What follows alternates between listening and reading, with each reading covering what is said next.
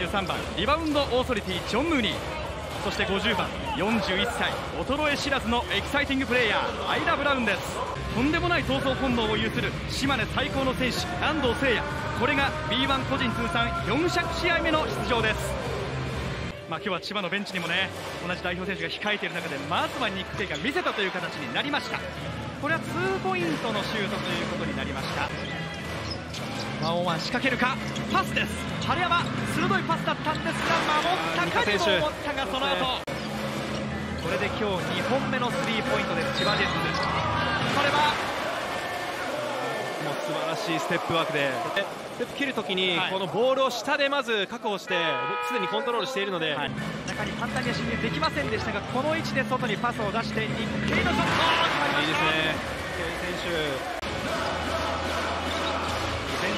向上というところも、まあ、昨シーズンから掲げ続けている島根サママジックですがこれはバスケットカウントだ。とんでもないエンドワン。今のも安藤選手、ビオン選手をちらつかせながら、北、川、選手のオープン作ってきましたね、はい。さあ代わって千葉、富樫と西村のツーガードという後半のスタートで西村のスリーポイント。ここはビフォードがオープンになっています。やはり外はまだ来ない。そうですね。そして走っています。あっという間に走っていった。このスピードこそが千葉ジェッツ。も与えない間に一気に2点差まで詰めてきました。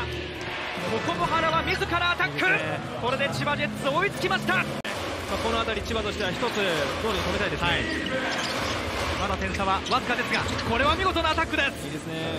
特にこの時間帯を千葉はどう得点につなげていくのか。大倉のスリーを射抜いた。少し体は流れながらだったんですが、はい、決めきりましたね。西村インサイドを使ってくるか。ムーニーのポストアップからの下がってショット。これも決まります、ね、タフショットではあったんですが決めきりましたね、はい、がスクリーンに入る安藤が侵入していく。川塚ブロックだ。好きな跳躍力。フローターショットに変えてるんですけど、はい、もうそれに対して届いてくるこの高さですよね。少しショットずれましたね。ずれましたね。富樫はどうか。ここで来るか。ここで来ましたですね。簡単には得点をさせないがここを守るかなんとかつないで2ポイント。そうですねかなり時間をかけさせたんですが、はい、さあビフォード。